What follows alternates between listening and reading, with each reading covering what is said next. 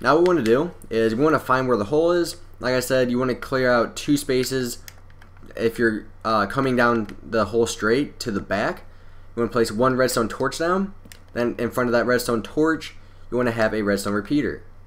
And so the redstone repeater should be on the entire time. And so now what we're going to do is one block away from the repeater, you want to take it back out your redstone, and then place one redstone right here.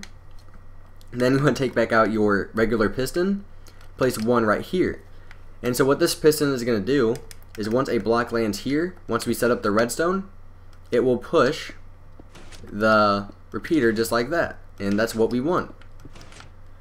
And so we're going to have, we're going to transfer this redstone over to, actually, did that actually just work the way it's supposed to? Huh, that's weird. I didn't even know you could do it that way. I usually have the redstone going around to the back of the piston. But if we don't need that, uh, uh, so anyways, now we want to dig down two more, like three more, uh, underneath this piston. Then we'll get to why we'll, why we are doing that later. Alright, so now the whole point of this is, so say if I take our sand out, and I drop it into this hole, boom. So then once the hole is filled, it will keep pushing the sand until you get to however far you want it. And so we need to clear out a space where the sand's going to be because uh, once you press the button, we want the sand to go away. And so we want to dig a trench that's going to be two deep. So it's going to go down two. Then down in this gap, you're going to place torches on every single block. Just like this. And that's exactly how we want it. And then want to dig out two, uh, or want to dig out three blocks on the sides, just like this. And only dig it down one block. Don't dig down two. And then you want to take uh, your sticky pistons out, and then one block away from the corner, from the edge. Then in front of the sticky piston, you want to place uh, stone. And then dig two blocks back behind the pistons, and then one block down. Oh, misplaced that one. And so if you have it set up right, you should have the pistons to where you can see the piston sitting on top of the stone. And that's how we want it. Now we're going to take our redstone repeaters out and we're going to place the repeaters down on each block. And then behind it, place the redstone. Eventually these, these will be on fully, but we're not fully done yet. And I'm just going to clear out some space. And you can clear how much space you want. It all depends on how much space you want and how many things of sand you want to be uh, pushed down to activate the buttons. Alright, so as you can see we have the redstone torch here and the redstone repeater. We're going to do the exact same thing again, just on the other side. So once you dig out, dig out your trench and you have your last piston, in front of the next piston, do the same thing with the redstone torch and the repeater. Boom, there we go.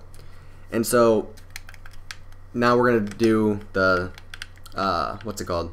Redstone right here, one block away. And then we're going to dig up until we find those pistons that uh, are going to push up the main block to activate the buttons. And so we need to dig up a little bit so we can find them. And once we find them, we're going to make a passageway connecting them to the bottom down here. Aha, there are the pistons that we need. Alright, so once you find the pistons, you want to clear out some more space so it's a little bit easier to work with. Like I said, you're going to, down here it's a little bit more crazy than up above. Uh, up above it's really compact, but then down below it's kind of huge. Oh, I got rid of some redstone right there. I can fix that later. Every now and then you will run into that problem where you get rid of some blocks and there's redstone on top of them. Don't worry about it, you can just replace it later. So we're just clearing out some more space so we can get to the pistons. We're almost there. Don't worry if you see the sky, you can always go back in and fill those back in later. Alright, so we have the pistons right here. Now we want to set up stone underneath, then stone on the on the sides. Then have the stone come out two from the pistons. On each piston, you want to place, oh, I lagged a little bit there. You want to place a repeater connecting each piston, and then redstone behind it. Now we're going to have the redstone connected all the way to this piece of redstone down here, so we need to connect them. So there is one problem that I found every now and then you will run into, is that this uh, once everything is, uh, so let's. I'm trying to find a way to describe this. So once a piece of sand is right here, as you can see, it activates the redstone, but then it also act activates this piston. We do not want that. To fix this, we will get rid of that and replace it with a redstone repeater. That will fix that problem. And then place one more piece of redstone right here. And now we can continue with connecting the redstone to the pistons up above. So just do this, make stair steps going up so you can connect them. Almost there. Boom. Now connect the redstone. You might have to add a repeater. All depends on how much space you have. And so if we come up, as you can see, the blocks are pushed up because this piece of sand is still here. And that's what we want. So once the sand gets this far, uh, it will activate the redstone. Then the redstone will activate these pistons up here. So then if we get rid of the sand that's right there, these go down, and now you cannot press any of the buttons up above. Alright, so everything's going extremely well so far. We're going to get rid of these pieces of sand. Now, uh, on the far side, not where the hole is on the front, but on the far side, you want to place a piston two blocks away from uh, this middle, from the trench. And what this is going to do is this piston is going to be on the entire time as well. And we're going to clear some space behind the piston so we again have some more space to work with. I'm sorry if I'm not describing this very well. It is kind of hard to describe on how to get this right. Uh, I'm trying my best to describe it for you guys. So, and just going to clear some more space on this side. Okay, so we want this piston to be on the entire time. And so what we're going to do is we're actually going to go back up to the surface. And then this is where this pressure plate right here comes into play.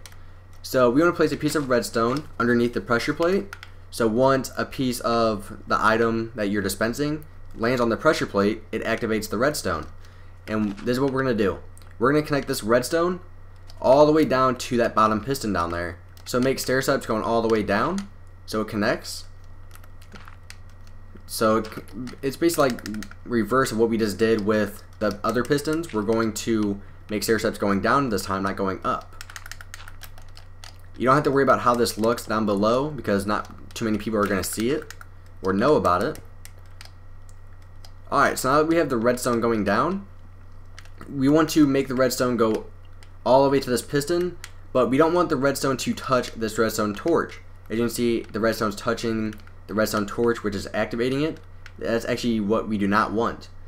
So we want to go around this torch, so it's not on the entire time. And then what you want to do now is connect it to the piston right here. And now you can do this anywhere, but we're going to make sure that this piston is always on. So we're going to get rid of a piece of uh, redstone, replace it with a piece of stone, then get rid of the block in front of it closest to the piston, and place a redstone torch. As you can see, the redstone torch is uh, activating the piston. And so if we get rid of the torch, the, the block right in front of the piston, you want to dig down two, then place a uh, regular torch. And the reason these torches are here is so once the piece hits the pressure plate, it's going to open up these, and then the gravel or sand will fall onto the torch and that will break. And that's what we want. Now we're going to replace the sandstone, or not the sandstone, the redstone torch.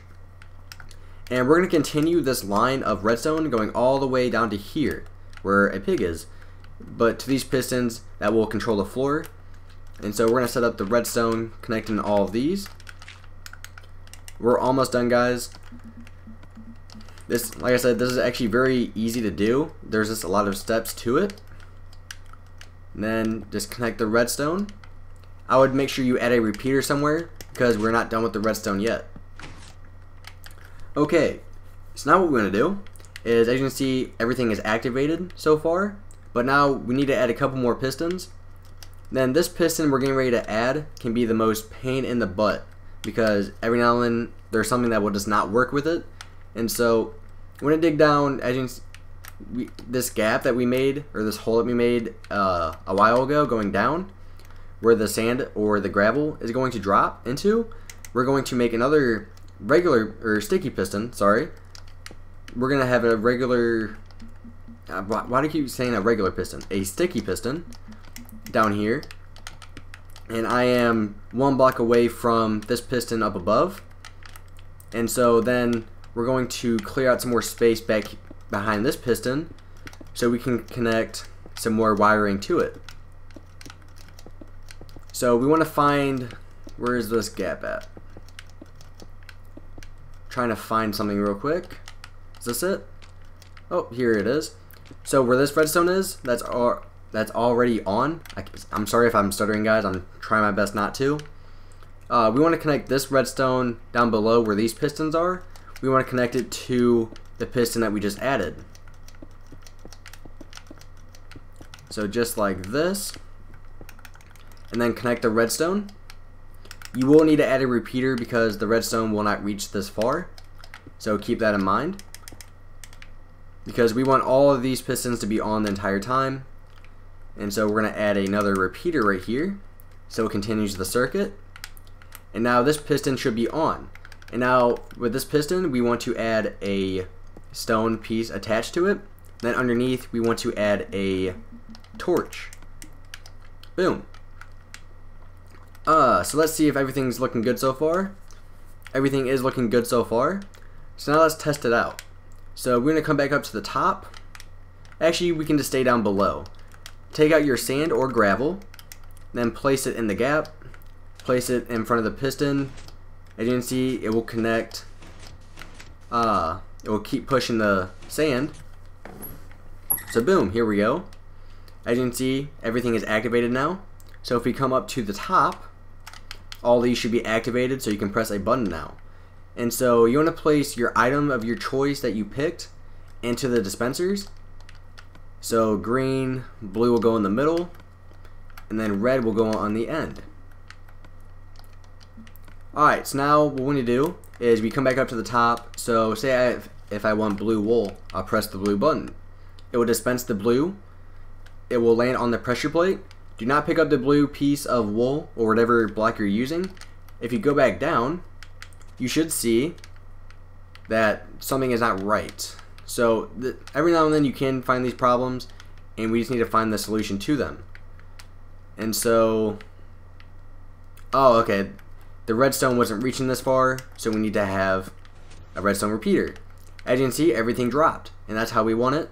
And so now, once you place more sand in, you can just keep repeating this process, and it will keep dispensing out pieces. And so now we want to find a way to make it to where you can see when the like when this pathway is full. And so this, this is actually extremely easy to do.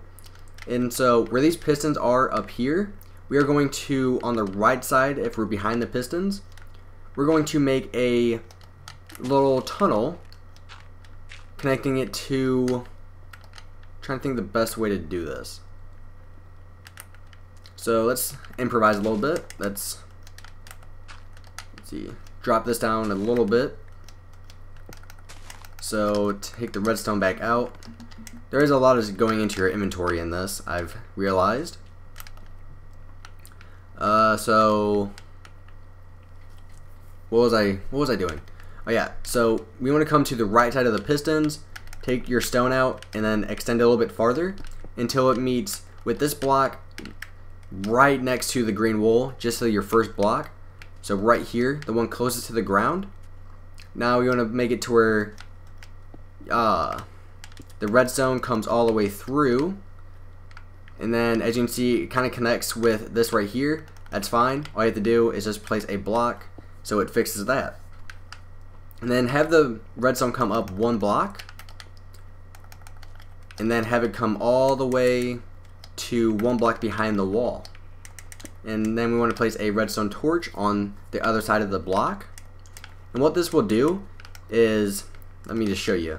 As you can see, the redstone torch is on right now. Now, if we keep filling this back up, so let's make sure everything's right first. How do we get back down there? Let's add a repeater so we make sure everything's going just fine. And so, say if we fill everything back up with sand or gravel, just like this. If we go back up to the top, the redstone torch should be off. That's how you know it's full. Now you can just replace the stone that you got rid of back here and on the sides. So everything's working just fine so far. Everything's working exactly how we want it to. And so we're basically done. Uh, trying to think of other things to add. And so I'm trying to make sure I don't miss anything for you guys. So now if we press the button, if I want red wool, it will dispense it onto the pressure plate. And all this should go away. So uh, what this piston right here is for, uh, it will grab the piece of sand on this block and pull it onto the torch, and that's what we want.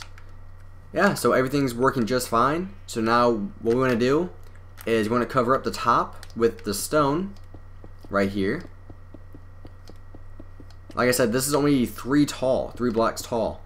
And so, it, like I said, it's really compact up above, but down below it's a little bit crazier. Then we can Oh yeah, I need to fix this piece right here. I got rid of by accident. I got rid of something up here, I believe. Just want to make sure I don't miss anything. Yep. Right here. Boom. Now everything should be working again. Take out our grass, then just fill up these empty gaps right here. And so let's see how this works. So to activate uh, this block right here so we can place everything, just stand on the pressure plate, and then just start feeding in the sand or gravel into the square. Then once it's full, the redstone torch should go off. Alright, so now it's full. And so we just back off the pressure plate. That will close. You can pick any item you want. It, oh, I fell off the cliff. It will dispense it. You pick it up and boom, there you go. Now you have your vending machine. You can make this inside of mountains, you can make it inside of buildings. Uh, you can basically make it anywhere as long as it's not on a flat map. And you have a lot of space down below. So I hope you guys liked the video. Uh, like I said, this is just something me and my friends have been working on. I had an idea for a vending machine, and so we tried to make it, and this is what we came up with. I know there's a lot of other ones that are extremely complicated and are extremely good, but this one's more for the beginners like me because I'm not great with redstone. And so hopefully this will help you guys out. So please drive guys and thanks for watching.